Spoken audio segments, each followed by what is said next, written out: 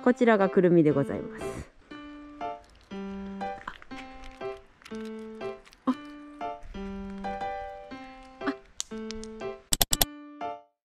さあ皆さんこんにちは。ノンサファリ札幌森ちゃんでございます。さあ今日はスペシャルゲストいえ主役を紹介させていただきたいと思います。それでは行ってみます。さあ今日のゲストいえ主役はこちらでございますエゾリスのキリカちゃんです。さあどんな性格の子ですか？あー結構おてんばですおてんね。ば。さあ今日はこの子にですねやってもらおうと思うのはくるみ。園内で見つけましたくるみを割って食べてもらいたいと思います。イエーイ。こちらがくるみでございます。おしっかり割れますか？大丈夫ですか？頑張はいってほしいそれでは。はい。どうぞ。お欲しい欲しい。欲しい。あ回してますね。回して、はい回して。あ？食べやすいとこ探してるんですか？食べやすいとこないのかな？食べないの？あれ？食べないのあれ？か？あれ？なんか服の中に入れてますああそこですね。お気に入りの貯蔵庫にするんですね。貯蔵庫？埋める場所探してますねもしかして今。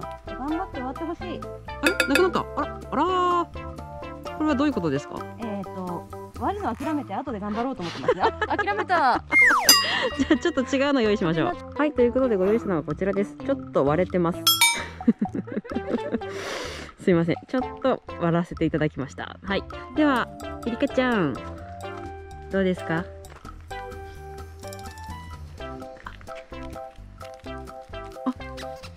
お気づいてる割れてることに。頑張って。あ、割れました合ってる合ってる。まあ、半分は人が手伝ってるけど。あ食べてますね。あ自分で割れたみたいな雰囲気出してる。でも上手に、そこを出すんですね。はい、あ一個は後にするんだね。あ食べてますね。もう歯でほじくり出すんですね。そうですねうまいこと。回しながら食べてますね。あここのくぼみにあったのも歯でうまく取りましたよ。ん。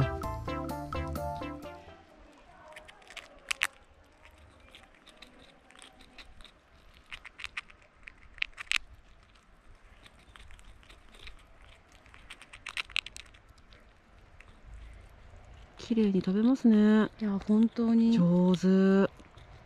食べ物大切にしてるね。うん。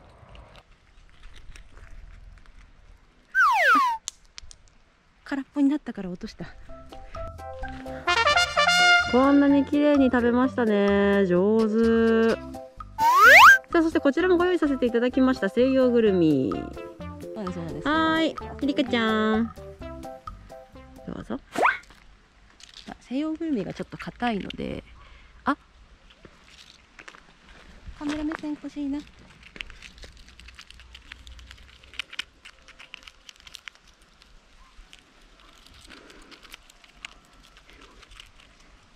あ、諦めましたか？すごい粉を感じます。見えないんですけど。あ、割れてきた、割れてきた。あ、上手上手。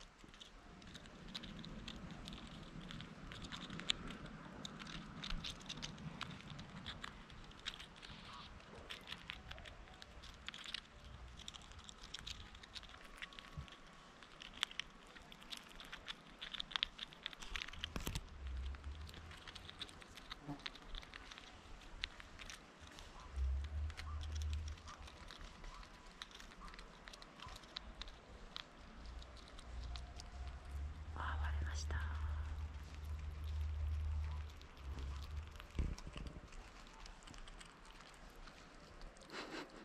や見えない。あ、本当に中が大きいですね。そうなんですよ。美味しそう、幸せそう。まだこの子って夏毛ですね。そうですね。冬毛になると耳のところの毛がすごく長くなりますよね。そうですね。今ちょっと伸びかけなので、うんうんぽやぽやっとしてるのが。そうですね。この耳のここですね。ここがもう少しシュッと長くなるんですよ。ぜひ冬の姿もお見せしたいですね。そうですね。あ、上手に塊をでした。美味しそうだな。ちなみにどんぐりは食べるんですか？あまり食べないです。食べないんですね、はいなんかどんぐり持ってるイメージありますよねリそうなんですスってよね。リスの種類で違うみたいです。エちょっといろんなの見てみたんですけど、うんうん。エゾリスはくるみがメイン、ででシマリスとかがどんぐりを食べるらしいです。でも本によって結構違ったりするので、私もどっちちが本当なんだろうって思ってますちなみにあのさっき埋めるっていう行動してましたけど野生のリスちゃんもそうですそうです。冬に備えて土の中に。植えますよね。埋めます埋めます。そして雪が深い中でもその自分が埋めた場所をしっかりとはい。覚えている。覚えててまたちょっと餌が少なくなった時にそれを掘り返して食べたりすごいですよね。こんこんな広大な土地に穴を掘って埋めて雪が降ってもそこが分かるっていうのがすごいですよね。本当ですよね、うん。覚えてるらしいですいよやすごいですよ。本当に。はいごちそうさまでした。食べ終わった後お掃除はい人の服でお口拭きます。かわいい。はい、ということで皆さんいかがでしたでしょうか？今回はこちらエゾリスのピリカちゃん。あのスタッフ間ではあのプンプクって呼ばれてはいるんですけれども、えーぜひぜひ今後の活躍も楽しみにしていてください。はいじゃあ皆さんぜひこの今日はですねピリカちゃん可愛かったなって方、ぜひぜひグッドボタンお願いします。コメントもお待ちしております。そして、チャンネル登録まだの方、チャンネル登録よろしくお願いしますね。